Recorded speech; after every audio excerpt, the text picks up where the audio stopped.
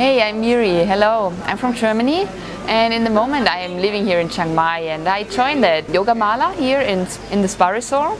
I'm a volunteer. I think I will stand at the information desk and help the people who are coming. I hope a lot of people will come.